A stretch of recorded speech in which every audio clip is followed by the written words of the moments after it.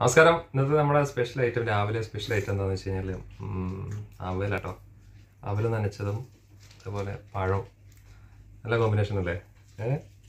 ഈ അവൽ നനയ്ക്കുമ്പം അതിനകത്ത് തേങ്ങ ഇടണം.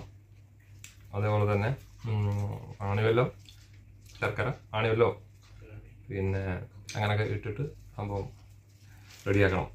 പഴത്തിന്റെ കൂടെ ഭയങ്കര രസമായിരിക്കും. പഴം ഞാൻ പൊളിച്ച് കഴിക്കാനുള്ള പരിപാടിയാണ്. അപ്പം ഈ അടുത്ത കാലത്ത് വല്ല ആരെങ്കിലും ഇങ്ങനെ അവലും പഴം കൂടെ ഇങ്ങനെ കഴിച്ചിട്ടുണ്ടെങ്കിൽ ഒന്ന് കമന്റ് ചെയ്യണേ.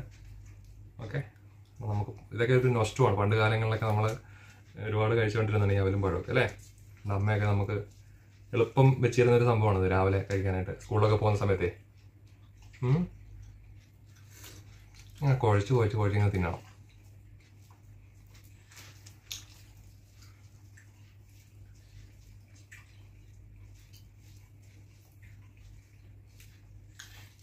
പ്രവാസികൾക്ക് ഏറ്റവും ബെറ്റർ ഈ അവലും പഴമൊക്കെ കേട്ടോ എളുപ്പം ഉണ്ടാക്കാൻ പറ്റിയ സംഭവമാണ് ഈ അവലും പഴം എന്നൊക്കെ പറയുന്നത്. പഴം നല്ലോണം പഴുത്തിരിക്കണം. അപ്പോഴേ അതിന്റെ ഒരു രസം ഉണ്ടാവുള്ളൂ. അതേപോലെ ആണിവലും വേണം. പിന്നെ തേങ്ങയും ഇമ്പോർട്ടന്റ് ആണ്. അവലിന്റെ കൂടെ സുലൈമാനി കട്ടൻ ചായ. ഞങ്ങൾക്കത് കട്ടൻ ചായ ഉണ്ട്. അത് കാണിച്ചില്ല. അത് ഇവിടെ ഉണ്ട് കേട്ടോ.